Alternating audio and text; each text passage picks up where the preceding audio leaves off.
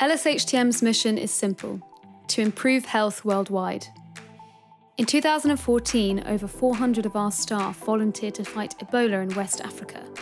Since then, strengthening research on emerging infections and working closely on preparing for and responding to epidemics has been a priority in our strategy.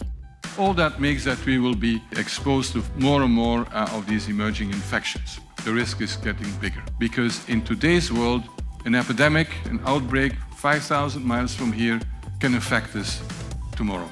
By prioritising research and education in this area and establishing specialist teams to respond to crises as they were unfolding, we were in a unique position to act after a novel coronavirus emerged at the end of 2019 and rapidly spread across the world. In September 2019, our teams were on the front line in the Democratic Republic of the Congo, responding to the world's second largest Ebola epidemic. Experts from our UK Public Health Rapid Support Team were deployed to support the DRC government and World Health Organization on the ground. We ran new trials of an Ebola vaccine in DRC and neighbouring Uganda to prevent the spread of the epidemic and gather crucial information about the vaccine's effectiveness to be better prepared to fight Ebola in the future. In the UK, LSHTM was a founding partner in the country's first dedicated vaccines manufacturing and innovation centre. Experts were working to open a new facility that would rapidly deliver new pandemic vaccines for the benefit of people all over the world. At the same time, our education teams in the UK and the Gambia were developing and delivering new short courses on topics critical to pandemic response. These included modelling infectious diseases, and building trust in vaccines.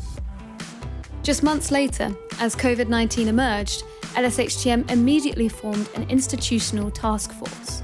The task force directed research priorities, rapidly facilitated collaborations, and enabled new initiatives to get underway at speed.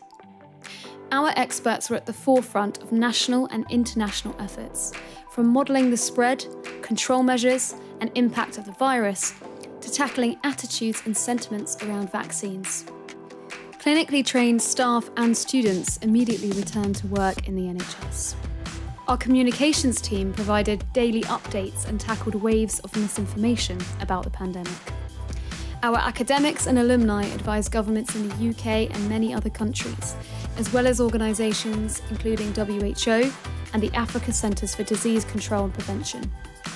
With many LSHTM staff based in Africa, we scaled up surveillance, diagnostic and testing capacity, supporting national governments and ministries of health on mitigation efforts, treating COVID 19 patients in specialist clinics, and strengthening Africa's overall preparedness measures through genome sequencing to understand the movement of the virus.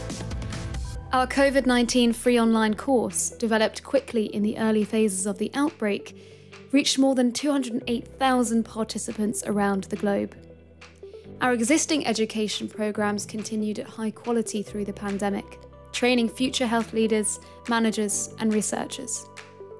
This is the generation who will provide critical expertise around the world as we deal with the impact of this pandemic for many years to come. Our alumni led response efforts in their own institutions and countries around the world, and 1,200 of our students and alumni work together to support rapid research efforts.